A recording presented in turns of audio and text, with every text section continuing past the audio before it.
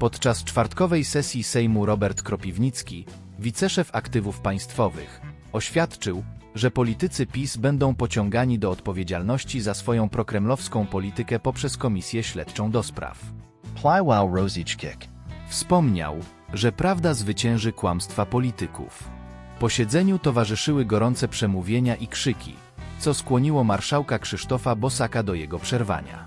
Przemysław Czarnek z PiS pytał retorycznie, kto ściskał Putina w Sopocie, sugerując, że był to Donald Tusk. Borys Budka z Koalicji Obywatelskiej zarzucił rządowi Prawa i Sprawiedliwości prowadzenie przez ostatnie 8 lat polityki prorosyjskiej, w przeciwieństwie do rządu Donalda Tuska, który ograniczał import węgla ze wschodu. Budka sugerował, że afera taśmowa była odwetem za tę obniżkę.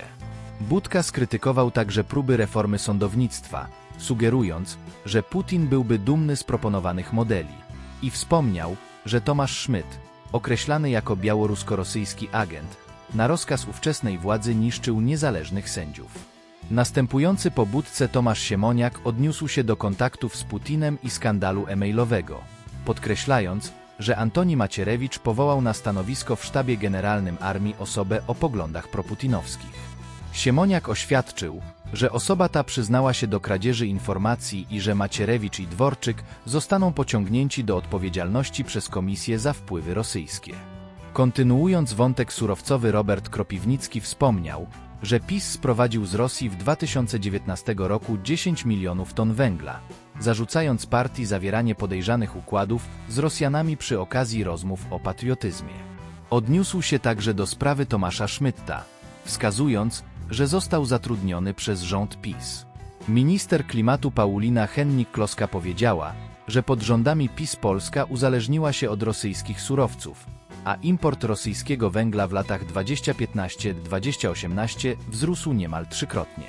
Zarzucała rządowi blokowanie rozwoju energetyki odnawialnej, co skutkuje wysokimi kosztami dla obywatele polscy.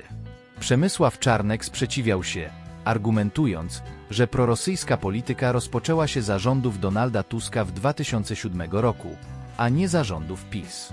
Spotkał się z aplauzem obecnej koalicji, gdy stwierdził, że Tusk przytulił Putina w Sopocie.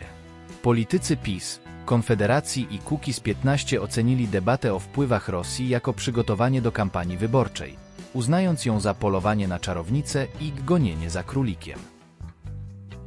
Jeżeli film Ci się spodobał, zostaw łapkę w górę i zasubskrybuj kanał.